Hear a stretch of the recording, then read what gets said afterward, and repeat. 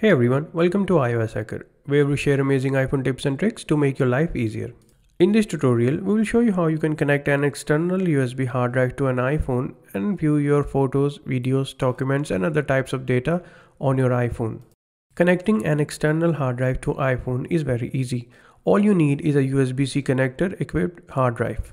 However, if your hard drive comes with a USB-A connector, then don't worry as you can use a USB-C to USB-A adapter like this one to connect your hard drive to iPhone. I will link to a few USB-C to USB-A adapters in the description in case you want to purchase one for yourself. Now to connect the hard drive to iPhone, all I need to do is connect the hard drive or the adapter to iPhone's USB-C port.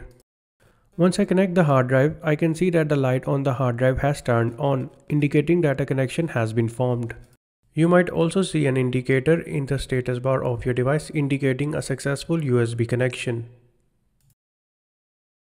In order to access the data stored on the hard drive, we have to launch the Files app.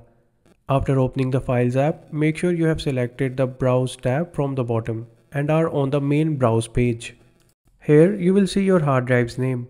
If the hard drive you have connected has multiple partitions, then all of those partitions will appear here separately. Tap on the hard drive's name to access the data stored inside it.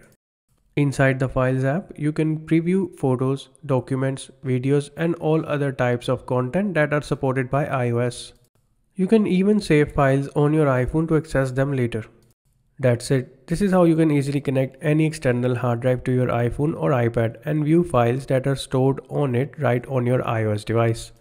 If you found this tutorial helpful, then be sure to give this video a thumbs up and subscribe for more iOS tips and tricks. Thanks for watching.